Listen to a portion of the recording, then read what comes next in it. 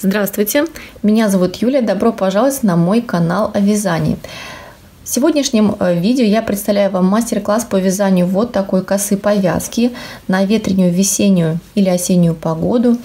А, такая повязка связана у меня в 4 нити, ангора 2 нитки, 2 нитки дополнительные. А, в видео вы увидите подробно описание с начала наборного ряда до сшивания Э, в конце этой повязки. Покажу вам обратную сторону. Повязка э, вяжется легко. Достаточно просто понять один принцип, связать в длину и закрыть как вам удобно. Вы можете выбрать вашу пряжу, но я бы вам рекомендовала все же, а, например, ангору или норку, или что-то пушистое, аналогичное. И если вы хотите добиться а, вот такого же внешнего вида, то старайтесь попасть в мою плотность и а, примерно получится у вас так, как у меня. Все, давайте не оттягивая, приступим к видео. Удачи! Итак, набор инструментов и материалов, которые нам понадобятся. Пряжа. Я вяжу в две нити. Вот такой дымчато-серый и нежно-розовый буду смешивать в две нити. Плюс добавлю ниточку Лана Гроссы Брелина. Это нитка хлопок с люрексом. Вот так она выглядит. Шнурок. Приятная нить, мягкая. Кстати, даже здесь не хлопок, а вискоза и металлизированная нить. И также добавлю Лана Гросса Диаманты. Это нитка с микропоетками, стопроцентный полиэстер – Здесь на небольшом расстоянии расположены такие миниатюрные пайеточки. Очень красиво, изящно украшают изделия. Потом нам понадобится вспомогательная нить для наборного края, которую мы сделаем потом открытый. Спицы у меня будет три с половиной. Дополнительная спица, она может быть прямой, может быть изогнутой, как у меня. Важно, чтобы размер дополнительной спицы был идентичный вместе с вашими спицами. У меня на пол размера отличается в большую сторону. Если у вас нет близких а, к номеру спиц, то лучше в большую сторону сделать. У меня номер спиц 3,5, вспомогательная э, спица номер 4 и крючок. Крючок э, у меня 3,5, тоже берите такой не мелкий, крупно, крупного размера. Что касается пряжи, я хочу остановиться вот на выборе ангоры у меня это пряжа от фирмы Родина, спайки, сделаны в Италии. И самое главное, хочу отметить пропорцию грамм на метр. 25 грамм 112 метров. Это достаточно толстая ангора. Поэтому, если вы хотите попасть в мою плотность, то выбирайте вот такую толстенькую ангору. Например, если ее сравнивать а, с ангорой Rabbit от Woolsey, вот такой у меня есть моточек, то эта пряжа Woolsey, она а, в 25 граммах 160 метров, здесь 112. Вот так можно положить две ниточки и увидеть. Ну, может быть, на экране сильно, сильно заметно, но вот эта пряжа, она ощутимо толще. Поэтому, если вы будете вязать, например, из Rabbit Angora, в принципе, она популярная, доступная такая пряжа, везде можно найти, подобрать цвета, то, наверное, лучше вязать ее тогда в три нити, чтобы добиться похожей плотности. В любом случае вяжите обязательно образец. У меня будет, еще раз повторю, две нити. И вот эти две ниточки буду вязать в 4 нити. Да, кстати, общий вес моей ангоры здесь 35 грамм. То есть здесь у меня примерно полтора мотка. Серая больше, розовая меньше. Видно, что это уже пряжа у меня была в проектах, поэтому это остатки. А, в итоге я вам расскажу, хватило ее или нет. Если не хватит, то мы немножко добавим той или иной пряжи. Ну что, давайте приступим к вязанию. Моя коса будет состоять из 24 петли. Но чтобы соединить э, начало и конец косы невидимым швом трикотажным, для этого я сделаю а, наборный край из бросовой нити. Для этого я наберу воздушными петлями крючком воздушные петельки в количестве 30 петель. 4, 5, 6. Вяжем свободно. 7, 8,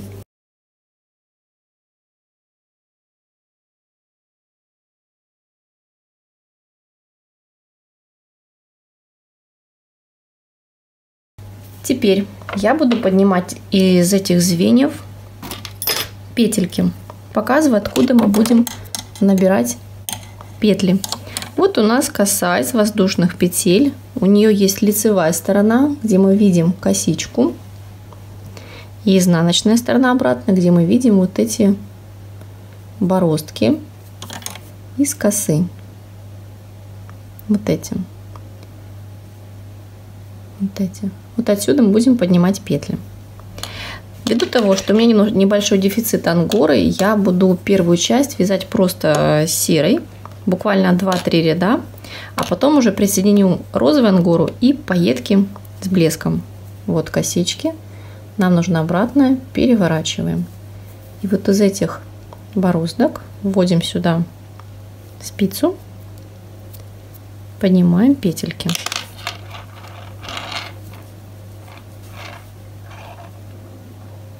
И начинаем счет вот из этих бороздок.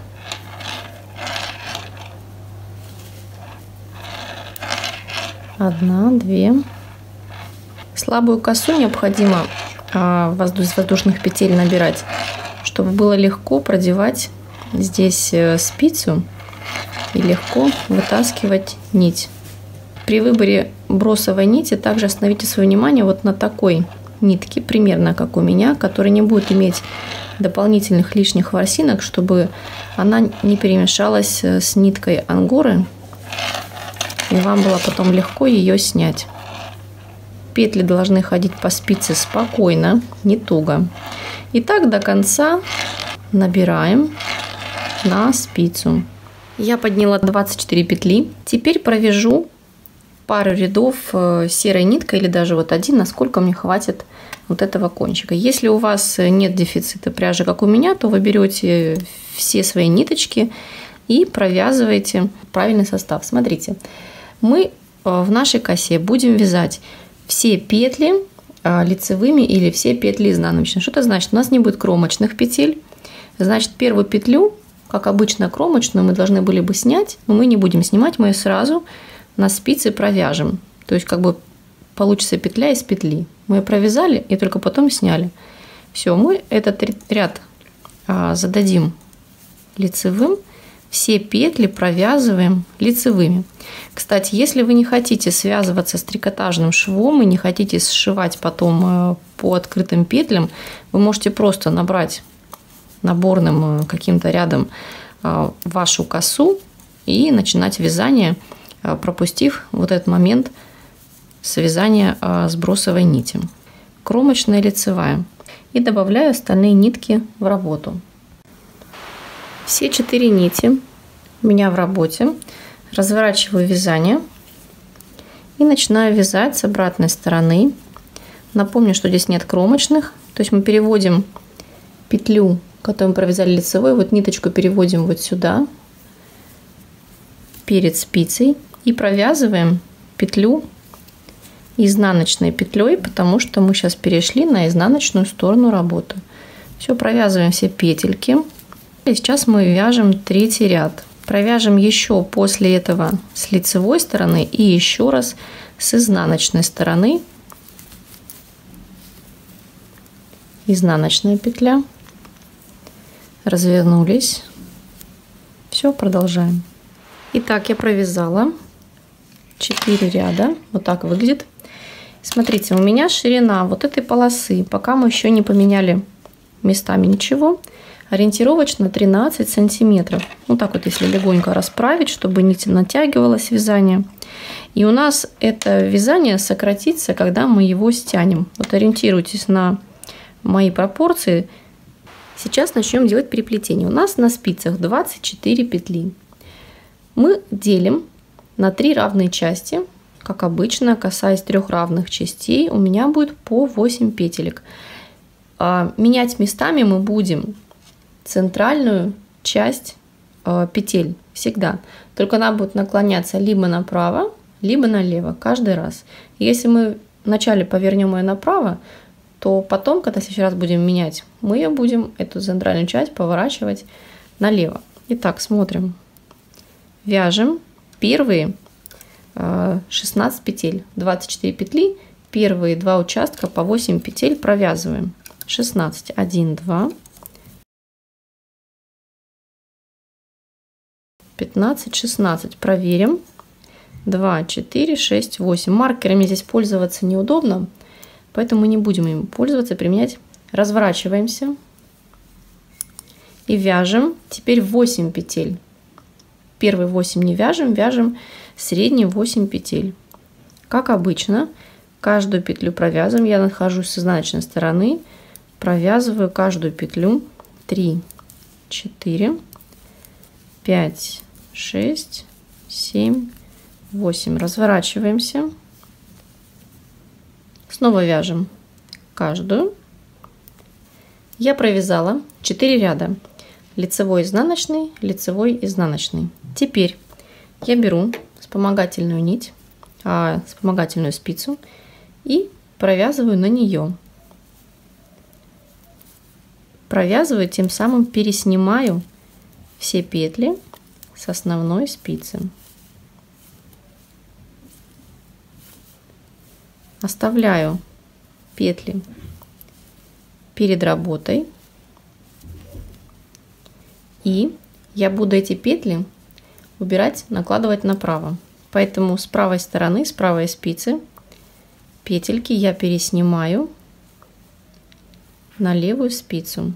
И петли и ниточка на дополнительные спицы, все находится впереди. И нитка, и спицы. Теперь я с дополнительной спицы перенадеваю петельки на основную спицу правую. И уберу сейчас доп. спицу из работы. Нам нужна только для этого ряда. Все убрала, перенадела. Вот такая у нас картина, пока немного запутанная. И мы сейчас продолжим вязание и вяжем ряд. Продолжаем, мы уже не довязали ряд. Провязывая все петельки с левой спицы, все как обычно. Довязываем 16 петель. Наклонилась у нас центральная часть направо, пока не видно результат, но он будет. И теперь мы будем считать ряды. А, я не использую счетчик рядов, я почти всегда про него забываю, нажимать что-то. Я использую обычные тетради и ручки или карандаши. И буду записывать ряды. Вяжем теперь изнаночный ряд. Я напишу отметку на листочке о том, что я провязала ряд. Мне так проще, то есть, знаете, как через руку попадает в мозг. Провязали изнаночный ряд. Записываю. Пишу и изнаночный. Важно не писать количество рядов, потому что провязав, например, ряд, если вы что-то забудете, вы смотрите, на каком ряду вы сейчас находитесь и сколько вам рядов еще осталось провязать. Так, вяжем лицевой. Я провязала 7 рядов по прямой. Вот так записывала свои ряды. Изнаночный, лицевой, изнаночный, лицевой, изнаночный, лицевой, изнаночный. 7 рядов. Я нахожусь в начале вязания а, с лицевой стороны. И здесь наглядно видно, что центральная часть у меня на, накладывалась направо. Теперь я буду центральную часть укладывать налево. Делаю те же самые а, манипуляции, что я делала в предыдущий раз. Я сейчас провяжу 16 петель своей косы. 16 петель провязано. Разворачиваю вязание. И провязываю 8 петель.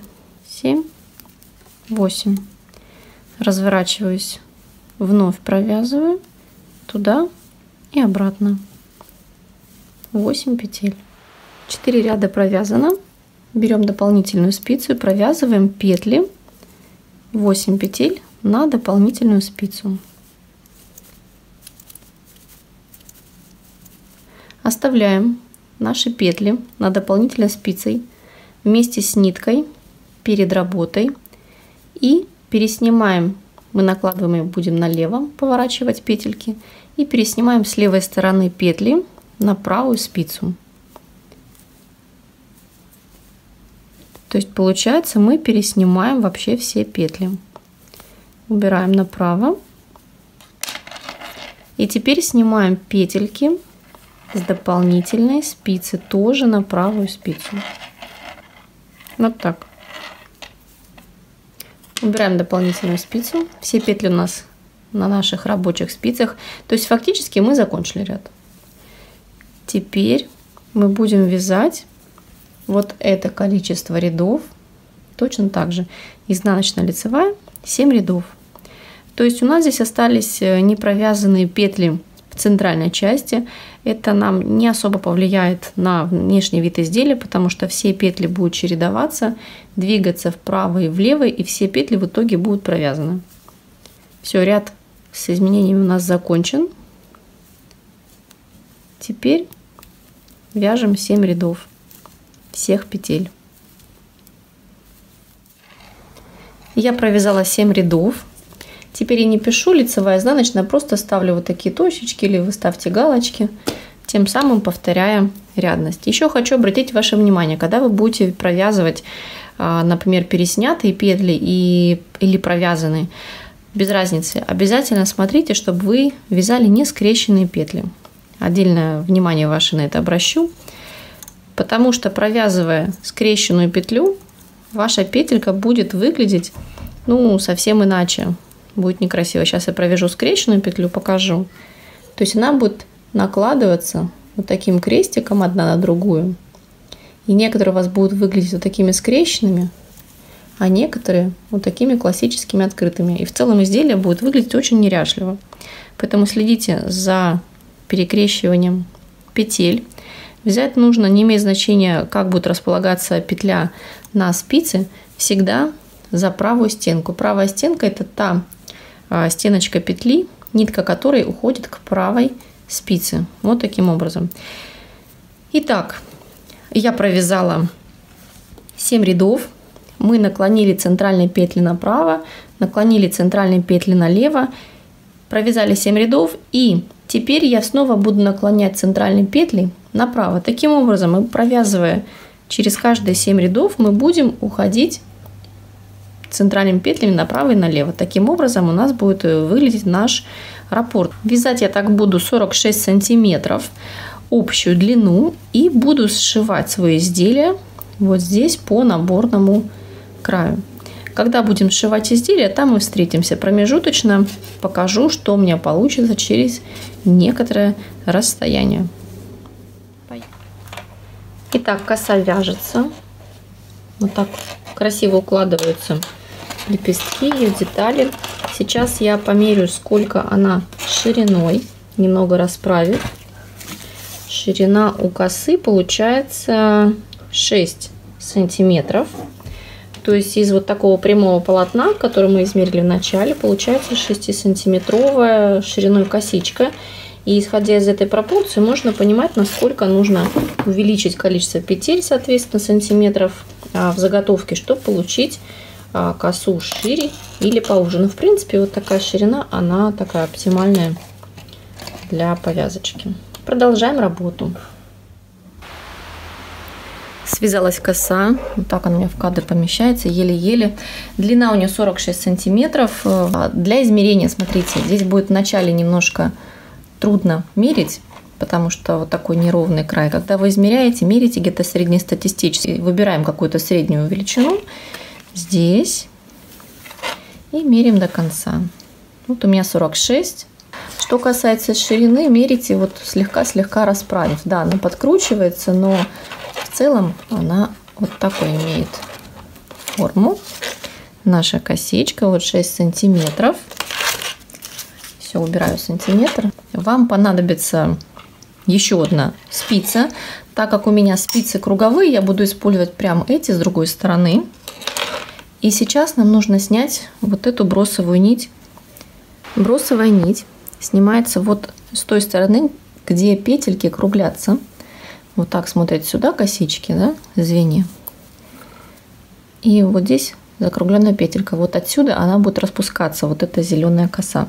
Сейчас я надрежу, чтобы было проще это делать. Беру спицу. Вот эта петелька уже пошла. Выдергиваем. И сразу ее подхватываем. И вот этот кончик, хвостик. Мы его тянем, и петелька освобождает нашу петлю. Мне очень нравится этот способ набора с помощью крючка, когда нам нужно освободить петли в конце.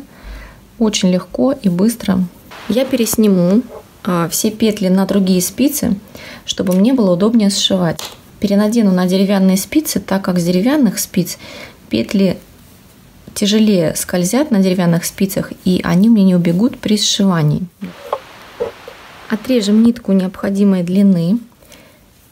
Передвигаем все наши петли в край, там, где э, начало ряда. Выровняли косу, чтобы она не перекрутилась в восьмерку. Да? Вот у меня снизу выходит нитка. В первую петлю на другой спице я буду вводить как бы снизу вверх, с изнанки на лицо. Теперь опускаемся вниз и вводим иглу с лица в изнанку. Первую петлю я сниму, потому что она мне уже не нужна будет в сшивании. Следующую петлю ввожу с изнанки на лицо. Попарно сшиваются по 2 петли на каждой спице. Возвращаемся сюда. С лица. Смотрите, чтобы петли не были скрещены. На изнанку, с изнанки на лицо. Петли не должны быть скрещенными. Возвращаемся обратно с лица на изнанку. Снимаем. С изнанки на лицо. Петля должна быть открыта. И так далее мы сошьем до конца. Все, вяжем до конца, с лица на изнанку, с изнанки на лицо. Еще можно так приговаривать, ныряем, выныриваем, ныряем, выныриваем. Все, продолжаем. Я сшила трикотажным швом, вот так получается, совершенно невидимо. И, кстати, благодаря этому теперь видно обратную сторону косы, то есть не перепутаем перед и обратную сторону. Здесь несколько иное расстояние вертикальной аэропорта и коса здесь выглядит немного иначе. Соответственно, мы не перепутаем, всегда это будет под волосами на, ну, на затылочной нижней части, а впереди вот такая ровная косичка. Вот такая коса. Если мы сложим вдвое, она будет 23 сантиметра. Ширина у нее будет 6. Когда вы постираете, всегда обязательно расправьте переплетение, и она примет ту форму, которую вы ей зададите во время стирки. Я желаю удачных вам проектов. Подписывайтесь на мой YouTube канал. Также у меня есть канал на Яндекс Эфире. Везде выкладываю мастер-классы, обзоры изделий, пряжи, э, характеристики, как себя ведет э, нитка в той или иной вещи. Изделия я вяжу вот такие, э, плюс-минус классические, лаконичные, поэтому у кого вкус схож с моим, добро пожаловать на мой канал, пользуйтесь моими мастер-классами, я желаю вам удачи, до новых встреч, пока!